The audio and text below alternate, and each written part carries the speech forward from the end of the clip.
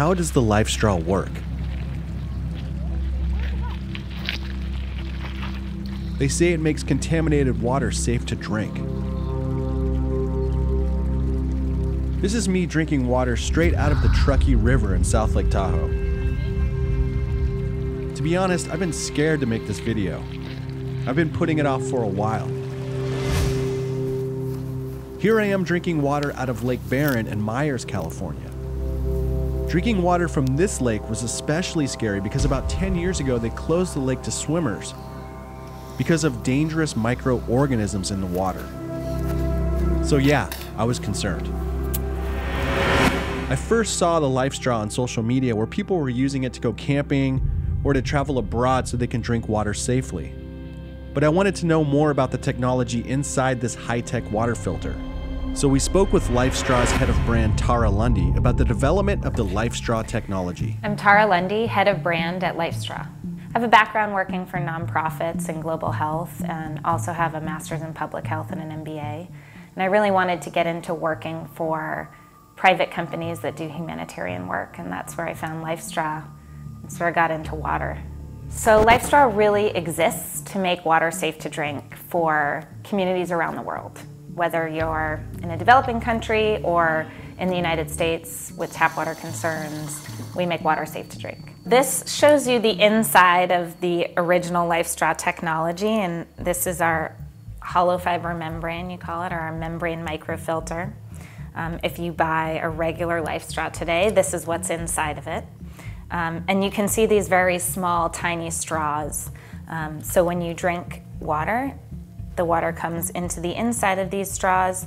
There are tiny microscopic pores of 0.2 micron in every straw. And so Bacteria, parasites, microplastics, dirt, turbidity will be trapped within these straws, and then safe water will seep through that you'll be able to drink out of the mouthpiece. So you could stick this in a river, a lake, um, any dirty water source, and drink straight through, and you'll get clean, clear, safe water coming through the mouthpiece.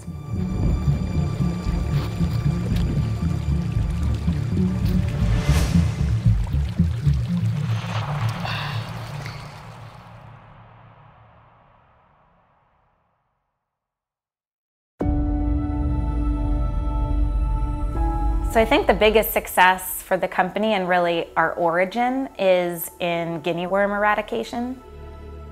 The company, the technology was really created based on an effort to eradicate guinea worm in partnership with the Carter Center. So actually it was really um, the Carter Center that came to us and said, can you help us make something to help in our efforts of eradication of guinea worm? And so we got started by making this simple pipe filter um, that we now call the LifeStraw guinea worm filter. And if successful, it'll be the first disease to be eradicated without the use of a vaccine.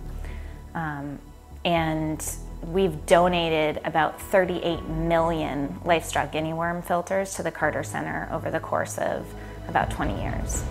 Guinea worm is believed to be over 3,000 years old. It's written about in Egyptian medical text. They believe that the symbol of medicine is actually the guinea worm being wrapped around a stick.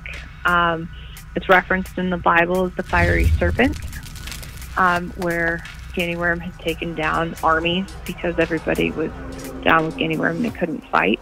Guinea worm is contracted when you drink contaminated water. The male and female worm mate, and the male dies off, and the female grows upwards to three feet long in your body. Then, when she's ready to emerge, she excretes like an acid and burns a hole through your skin. And now it can come out anywhere on your body, but typically it comes out through your feet or maybe your legs or something like that. And over the course of several weeks, sometimes months, you have to roll a three foot worm out of your body like centimeters by centimeters. You become paralyzed as a result of having the worm left in your body and becoming calcified. When we started, they, we had 3.5 million cases in 21 countries in Africa and Asia. And last year we had 28 cases in four countries. So we're in the home stretch. There's major challenges before we finish. But um, President Carter took on the campaign, um, and the Carter Center has led the campaign since 1986. And he's been very clear about the fact that he wants to see guinea worm finish before he passes away.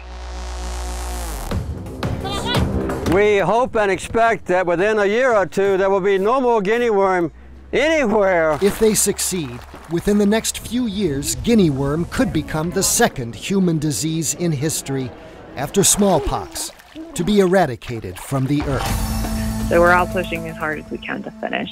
And um, since we don't have a vaccine and we don't have a medication, changing people's behavior is one aspect, and one of the um, behaviors is getting to people to filter all of their drinking water um, so that they don't get guinea worm disease.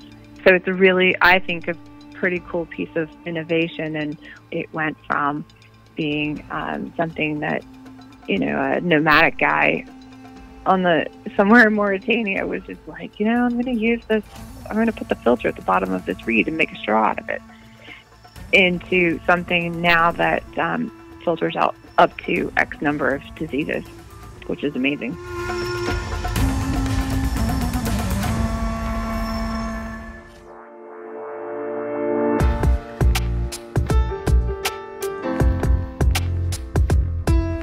And once we started working with them, we said, okay, is there additional technologies we can layer in to really address broader issues of water contamination throughout the globe? And started with humanitarian, so addressing things like bacteria and parasites, um, eventually virus. Only about 10 years later did we really get into doing retail and um, providing products for outdoor adventurers as well as now even people seeking to improve the quality of tap water in their homes. In light of the current COVID 19 pandemic, LifeStraw products have seen an increase in demand for use in emergency preparations. Several of LifeStraw's products do remove virus the LifeStraw family, the LifeStraw mission, and the LifeStraw community, a high capacity water purifier. The original personal LifeStraw, as well as the home and go water bottle products, remove bacteria and parasites but do not remove virus. It should be noted that there's no evidence to suggest that COVID 19 is waterborne. LifeStraw is interesting because we really come from humanitarian roots, and so we kind of deploy our hardcore technology first. Most water filters that you will find in a home are not going to remove bacteria or parasites or microplastics. So you could literally take our household pitcher and walk to a river or stream and fill it up and it would still give you safe water. This is our activated carbon and ion exchange filter. So this is an absorption technology which we combine with the hollow fiber membrane, which is a size exclusion technology. So together you're getting very advanced household filtration in a simple pitcher. But we've also layered in other protection for things that are emerging like lead or chromium or PFAS. And so there's really dual technologies our initial hardcore technology that we've deployed throughout the world for prevention of things like cholera, um, and then additional technologies that now remove things that you'd be worried about in your tap water as well. But the core technology is really this hollow fiber membrane that works off of size exclusion.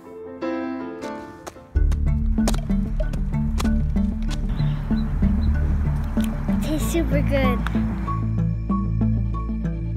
So LifeStraw has always been in the business to save and change lives. We often joke that we're a humanitarian company with a retail program and not a retail company with a humanitarian program.